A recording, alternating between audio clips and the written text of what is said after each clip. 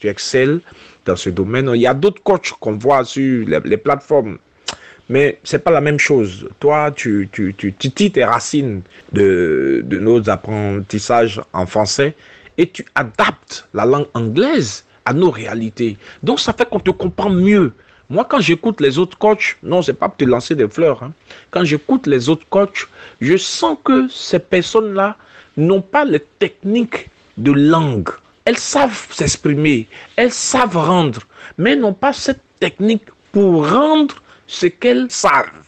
Je n'ai pas envie de citer de nom, mais les autres personnes qui sont sur les plateformes qui enseignent l'anglais, moi, je ne me sens pas, il n'y a pas cette connexion comme avec toi. Et j'en parlais avec, j'en ai parlé avec, j'en ai parlé avec, euh, et puis j'en ai parlé à ma,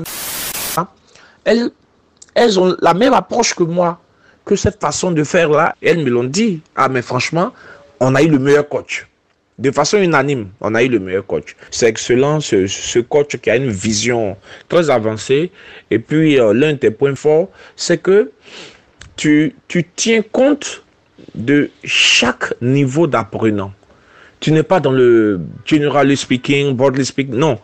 Tu, quand tu es un, un apprenant, tu regardes cet apprenant, qu'est-ce qu'il a comme point faible et comment améliorer son point faible. Et ça, c'est vraiment l'un de tes grands, grands, grands points forts. Tu adaptes ton message à chacun de tes apprenants et c'est essentiel pour toi. Et tu es très engagé. Tu es très engagé. Moi, je te suis sur. Je t'ai vu. Moi, je ne te connaissais pas. Hein. je te dis, je te connaissais pas. Je t'ai vu à. J'ai vu cela. Et puis après, j'ai vu ta page, j'ai vu tout ce que tu fais, j'ai vu que franchement, tu es très engagé dans ce domaine et c'est très bien. Je suis quelqu'un qui soutient toujours l'excellence et cela est encouragé. Cela est à féliciter. Et tu as quelque chose que beaucoup de personnes n'ont pas. Tu as cet engagement, cet engagement qui est fort qui est fort, tu tires par le haut tous tes apprenants. Et nous tous qui avons fait cette classe avec toi, nous l'avons compris, nous l'avons vécu. C'est quelque chose de fort chez toi. Et puis, il y a cette triptyque que beaucoup de coachs n'ont pas.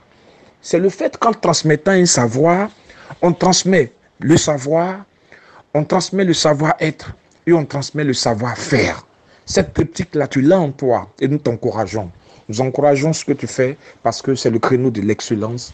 Et c'est un, c'est quelque chose qui marque toutes les personnes qui te côtoient, toutes les personnes qui bénéficient de ton coaching, toutes ces personnes qui voient ton engagement savent que au-delà même de ce que tu maîtrises la matière, mais tu as ce côté humain en toi qui fait que tu t'intéresses à chacun de tes apprenants. Tu regardes quel est le point fort, quel est le point faible, qu'est-ce qu'on peut travailler pour améliorer la personne, pour faire que cette personne donne le meilleur d'elle-même. Et ça, c'est inouï. Notre langue, c'est le français. Avant même qu'il y ait le français, il y a notre baoulé, il y a notre bété, il y a notre gourou, il y a notre dida. Il y a tout ça.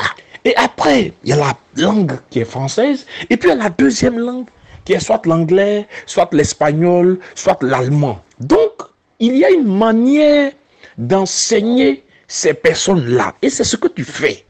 Tu tiens compte du background, tu tiens compte des roots, tu tiens compte d'où viennent ces personnes et comment adapter l'anglais à leur milieu pour que ces personnes puissent à leur tour aimer la langue anglaise, se l'approprier, l'apprivoiser et pouvoir s'exprimer en anglais devant n'importe qui. C'est ça ton point fort. Il est important que tu le saches. Tu t'es inscrit dans le créneau d'un enseignement avec sa particularité, avec sa spécificité. Et c'est ce qui fait que tu touches le cœur des personnes à qui tu enseignes.